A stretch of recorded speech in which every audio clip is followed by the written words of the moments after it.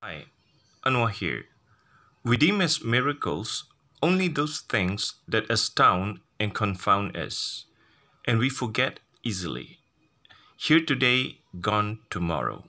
Those words describe exactly the fickle nature of human affection, belief, and care.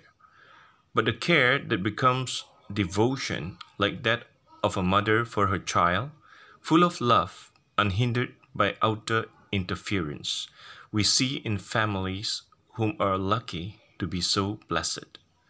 Through thick and thin, through the years of growth, maturity, and old age, the devotion is always there. Now that cannot be faked.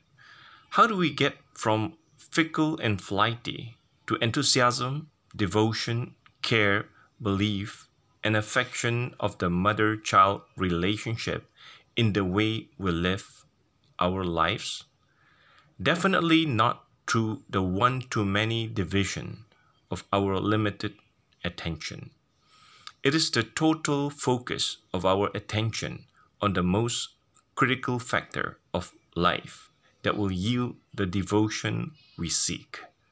The way an Olympian would to their craft, the way a champion would to winning, the way an expert would for mastery. A leader to live that truth the way people would respect without a doubt would seek simplicity over complexity. Life will simplify for us if we do not make that choice. That is why one finds as we mature, our needs become lesser, to the point where our thoughts, words, and deeds are no longer easily divided, like they once were when things were more complicated.